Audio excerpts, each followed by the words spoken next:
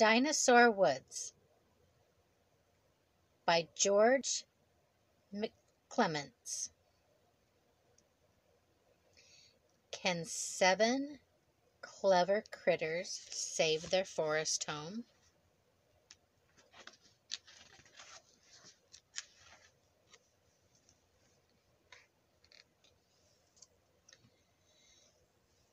The seven friends are Richard and Rachel the rabbits, Cuff the bird, Jimbo the deer, Milton the snake, Luke the bear, and Rojo the fox.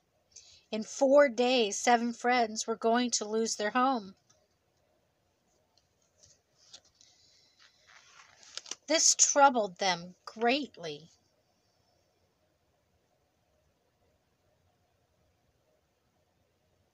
They tried to speak, speak to the people responsible. Um, could we chat? Hello up there. But for some reason, nobody would answer or listen. Anybody home?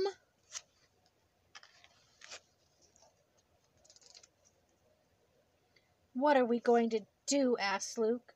We've tried everything.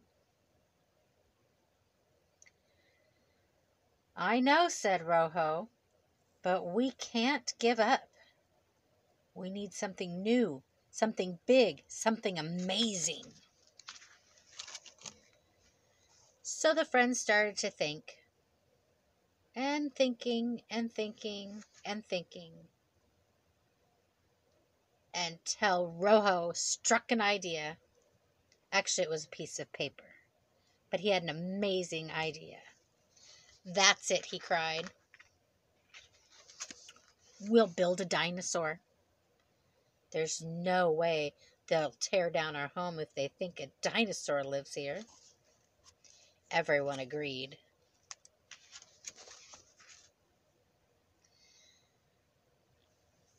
The friends spent the rest of the day collecting materials sticks and leaves, and vines and logs, and burlap. Do you hear power tools? Yep, big ones. Then Rojo spent the next 36 hours working in total secrecy until the dinosaur was finished. Well, how does it work? asked Jimbo.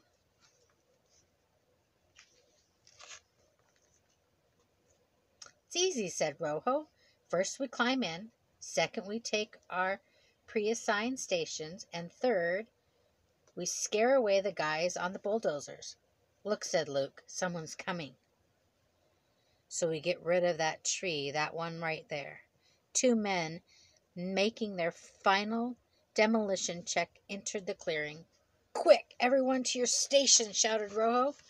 Rojo took a deep breath. He crossed his fingers and then he roared a terrible roar. Roar. It worked. The men ran for their lives. Yikes, we got to tell somebody. As word of the dinosaurs spread, scientists and news crews from around the world flocked to the tiny patch of woods. This is great, said Rojo. Nothing can go wrong. And that's when it did. It was chaos inside the dinosaur. But the biggest problem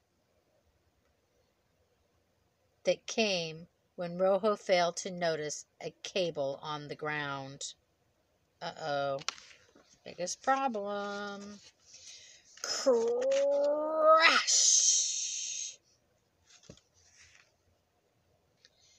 Down came the dinosaur.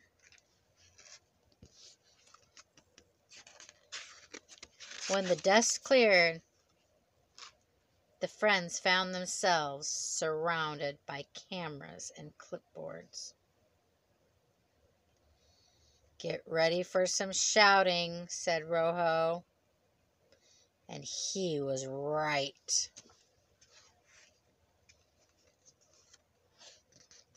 There was shouting excited shouting. A big mouthed jinx fox, a bronchial woodpecker, a Himalayan frost bear, crabby faced punching rabbits, a left footed klutz deer, a drop tail adder. It turned out that the friends were something called endangered, and Milton's case extinct. An important scientist declared the tiny patch of woods a protected site, and she named it Dinosaur Woods. So in the end, the small group of fen- friends did have something did have something to save their home. It wasn't new, it wasn't big, but it was amazing.